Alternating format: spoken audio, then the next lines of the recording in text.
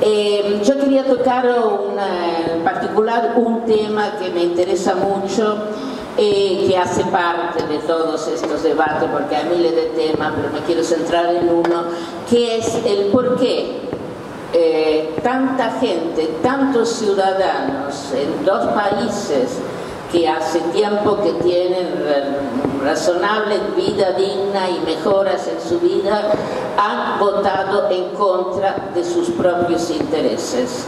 Y a eso me refiero no solamente a la clase popular, eh, que nosotros definimos que son ignorantes, por eso votan, pero acá y en Venezuela supongo también deben haber votado, votado en contra de sus propios intereses mucha gente profesional, con títulos universitarios, de la clase media. Entonces, descartaría el problema de la cultura.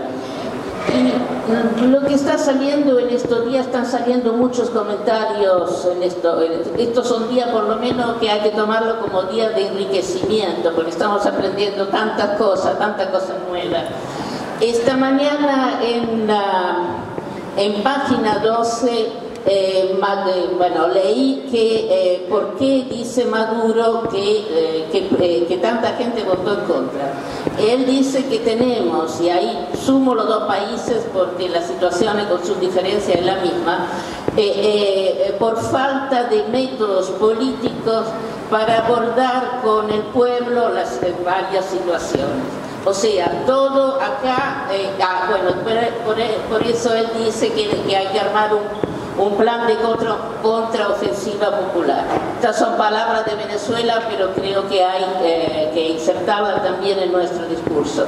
¿Y qué es eh, lo que está pasando? Yo siento que eh, lo que fue ahora y también el todo, bueno, lo que está pasando se dice que los pueblos todavía están, están reconociendo la situación cuando hay bienestar pero cuando hay, eh, eh, por, problemas externos, problemas económicos de externo, pero eso no lo entienden, pueblos, o sea, pueblos y clase media profesional, profesional y universitaria, no lo entienden, entonces dice algo está mal, voto en contra. No está el pueblo, la gente formada para pensar que cada cosa que uno pretenda hacer, eso vale para la vida del personal y para la vida política, hace falta esfuerzos, logros, pero después derrota y después seguir luchando. Eso no está claro. Y eso entonces es lo que hay que modificar, o sea, hay que modificar la, la construcción ciudadana.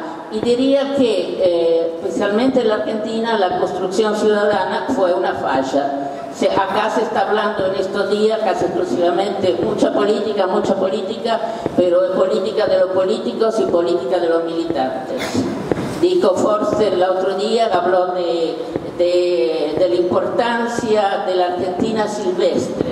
Y eso creo que es lo que hay que explorar, porque tenemos, son los militantes y los políticos hacen falta más bien, pero también hay que trabajar con el pueblo con la gente y con, y con los movimientos sociales. Y ahí no estoy de acuerdo en alguna cosa que se han dicho antes, que se habló, por ejemplo, que hay que, eh, acá como carta, tenemos que trabajar con profesionales. Eso es muy elitista y no creo que alcance para nada, porque somos siempre cuatro gatos locos, muy interesante, muy inteligente todo lo que decimos, pero no alcanza para, para cambiar la vida de un país. Y en el mismo tiempo hay como que eh, promover este bendito contacto con, con, con los pueblos, otro tipo de participación. Eh, la, eh, bueno, de los movimientos sociales, de todo, pero siempre con principio, eso hay que tenerlo muy claro ya voy cerrando. Y esto es un tema que, hemos, que ha surgido, que hemos estado viendo también, para yo también participo de la marcha ciudadana, eh, que cuando ahora estamos yendo a Venezuela en febrero y lo que comentó el compañero Carlos, y ahí eso es uno de los temas que quiero que hay que tratar, ya termino, no me mire así que ya termino. Eh, ya hay que ir trabajando para construir un pueblo unido, un pueblo, una patria grande unida, pero seguir, seguir sintiéndonos con la fuerza de hacerlo. Esto es un lugar nuevo, extraño la Biblioteca Nacional, pero estoy contenta de hacer así, de estar acá. Y eso quiero invitar y, espero que muchos compañeros y muchas compañeras puedan acompañarnos en la marcha ciudadana. Gracias.